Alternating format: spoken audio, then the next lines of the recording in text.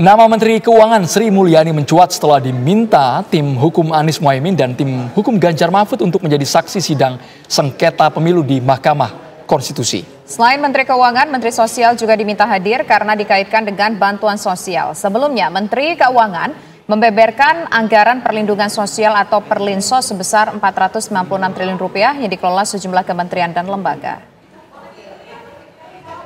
mengenai waktunya bisa diperpanjang waktunya. Nama Menteri Keuangan dan Menteri Sosial muncul dalam sidang sengketa pemilu di Mahkamah Konstitusi hari Kamis. Baik tim hukum Anies Muhaimin dan tim hukum Ganjar Mahfud meminta Hakim MK menghadirkan kedua menteri dalam kaitannya dengan kebijakan bantuan sosial.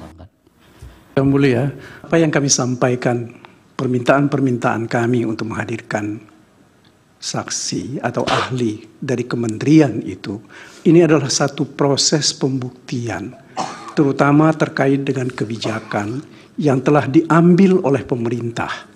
Sebab bagaimanapun juga penggunaan bansos ya. itu adalah dari APBN.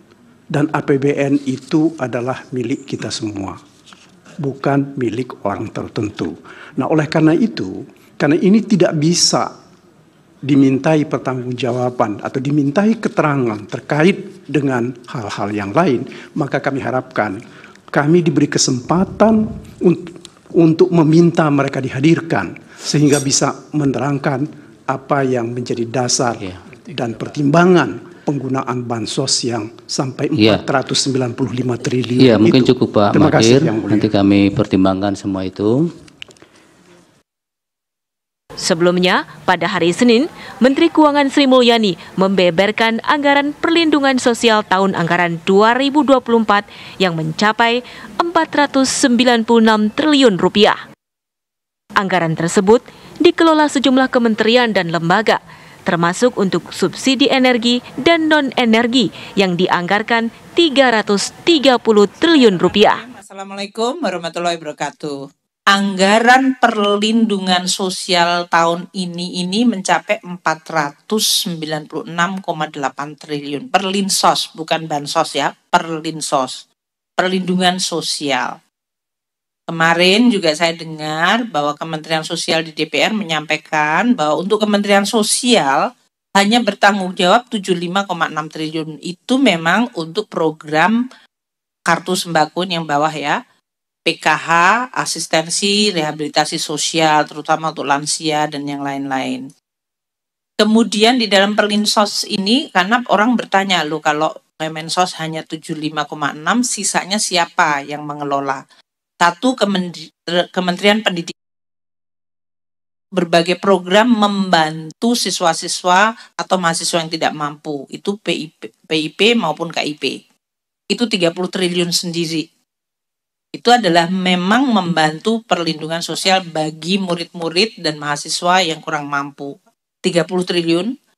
Kemudian Kementerian Kesehatan 49 triliun itu untuk tadi masyarakat miskin yang tidak mampu untuk membayar BPJS kesehatan. Kita membayar uh, untuk 496 itu 49 triliun sendiri adalah untuk tadi pembayaran PBI, Jamkes, uh, NAS JKN sebesar 49. Kemudian yang langsung ke masyarakat desa itu bantuan langsung tunai desa ada 10,7 triliun. Nah sisanya yang 330 itu apa? Itu adalah perlindungan sosial, bantuan sosial kepada masyarakat dalam bentuk subsidi energi. Seperti subsidi BBM, entah diesel maupun solar maupun pertalite, kemudian LPG, dan subsidi listrik. Itu semuanya langsung dinikmati masyarakat. Memang tidak melalui kementerian lembaga, tapi kita membayar langsung kepada eksekutornya yaitu PLN atau Pertamina.